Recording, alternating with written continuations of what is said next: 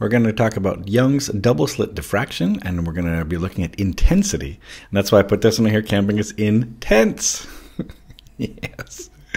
So Young's double slit experiment, what is that? Well, that's when you take light and you pass it through two slits. That's why it's called double slit. So here's a slit and here's another slit. In other words, an opening. Now there's going to be a slit separation D here, lowercase d. Now that light is going to be projected onto a screen at the distance d away.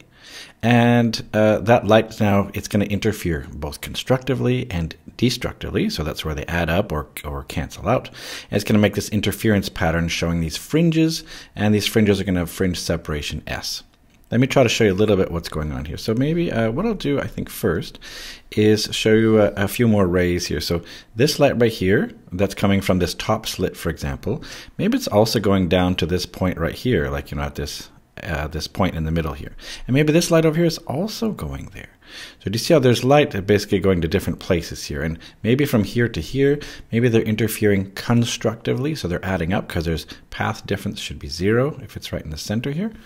So that means if I was going to draw the intensity pattern versus x here, this is going to be x is zero, and as I go up along here, this is going to be, it's like this thing right here is projected to the right here. So this is this x going to the right here. So that means it should start off with that maximum intensity, and then it'll go down, and it'll go back up again, it'll go down again, it'll go back up again, and so on and so on. So something like this right here. So this will be this pattern. Now these uh, these right here are going to be the fringes that are going to be these tops right here. So this right here is a fringe, and so is, for example, the top one here. These are all fringes. And if we talk about this fringe separation, what do we mean by that?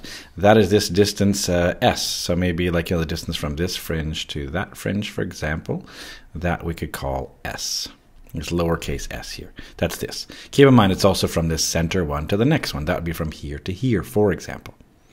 So we have an equation uh, from our data booklet, and it goes like this. It just goes s equals lambda capital D over a lowercase d. And this is, by the way, supposed to be a lowercase s, so maybe I'll redraw it just so it's really clear that it's a small s. Oops, you know, it doesn't even look like a small s. There we go. So this equation, I think the trick to this is just knowing what each letter means, okay? So this s is the fringe separation, lambda is the wavelength of a light, capital D is the distance from the slits to the screen. I remember that because capital D, it's usually like the bigger distance, whereas this is a smaller distance, so that's like a lowercase d. Um, well, that's how I remember them at least. So these are these different fringes here. So let's do an example. We have laser light of 633 nanometers. Now, what does that mean? That is the wavelength of the light.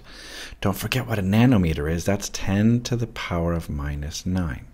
Remember, you can look that up in your data booklet if you need to. And it's shining on two slits that are 0.25 millimeters apart. Don't forget millimeters. Those are times 10 to the minus 3. And what letter is this right here? These two slits, this is the separation of the slits. This is lowercase d here. That's what this is. This one here was lambda. The question is, how far apart will the fringes be? Ooh, the fringe separation we want. S. That's what we're actually looking for here. We want S. And uh, on the screen, that is 6.1 meters away. That is capital D. That's this one. So really, it's just a matter of uh, using this equation. So how does the equation go again? Remember, it goes S equals lambda capital D over lowercase d. I'm just going to put in my numbers. I didn't even have to rearrange. If I'm looking for S, it's actually pretty straightforward. So that means I have S equals, let's see, wavelength, which is 633 times 10 to the power of minus 9 all that times capital D, which is 6.1 meters, divide that by lowercase d, which is 0.25, and don't forget, times 10 to the power of minus 3. So I can just solve this on my calculator, can't I? I can just get out my calculator and let's see. First, I want a fraction. And I'm going to do, let's see, it was 633 times 10 to the minus 9. I'll do that now. 633 times 10 to the minus 9 times, I want 6.1 here. Then on the bottom, I put the 0.25, and don't forget times 10 to the minus 3. I get this answer here. I get 0.0154452. So I should write this answer to probably two significant figures here because that's the least that I've been given. So that means I can say that S is equal to approximately, let's see, this will be uh, 0.015, let's say. So I can say 0.015 meters. Uh, maybe even better would be to say uh, 1.5 times 10 to the minus 2. Maybe that's even better. So I'll say that. So 1.5. This is super clear that I've only got two significant figures, meters. Or I could also say um, S equals, I can just say 1.5 centimeters because that's what those are. So either of those answers are here will be okay. I kind of like this one right here, or I could say this one right here. But there we go. It's a pretty simple example, but that's really how you can use these. You might be asked for questions on an exam like, hey, which of these quantities will make the fringe separation bigger? If that was the case, don't forget you should either make lambda bigger, or you can make capital D bigger, or you can make lowercase d smaller.